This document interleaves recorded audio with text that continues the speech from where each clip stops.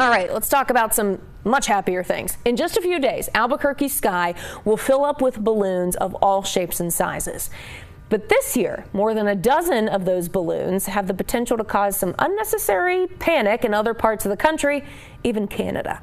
So we're talking about the 17 balloons competing in the Gordon Bennett gas balloon race.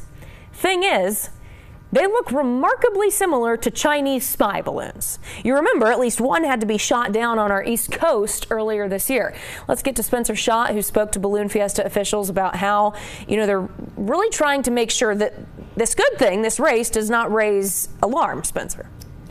Yeah, Tessa, so starting tomorrow, there'll be an ongoing effort to inform people between here in New Mexico all the way up to Minnesota or possibly even to Canada. What is the difference between a spy balloon and a gas balloon?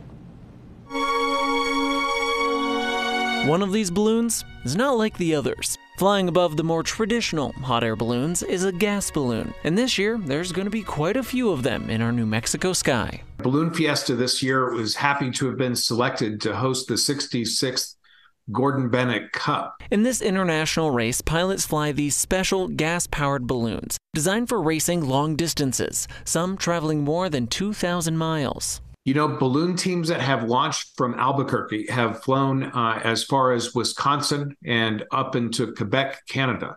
Uh, so, you know, they can go a variety of different distances. They've also flown out to New York uh, and other parts of the Northeast. But from a distance, these balloons closely resemble a different balloon that got international attention earlier this year. Absolutely. It was a Chinese spy a balloon. They just shot it. We understand that there might be some confusion Uh, as these balloons are flying over uh, the central part of the United States into Canada.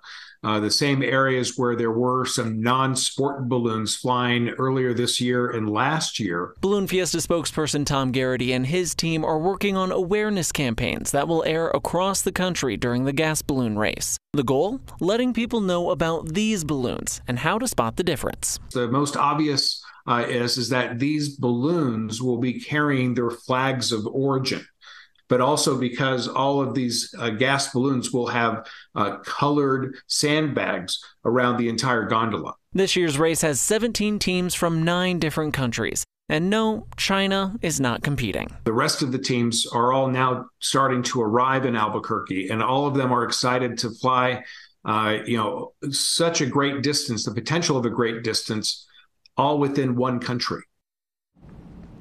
Now, another precaution Fiesta reps are taking is letting law enforcement agencies all along the projected flight path know about this race. So if they get a call from someone worried the Chinese government is spying in their neighborhood or their backyard, they can let people know that it's nothing to be concerned about. It's just Balloon Fiesta. I feel sorry for uh, news agencies in, in that area, their assignment desk for all the calls they're going to be getting. all right. Spencer, thanks for the clarification.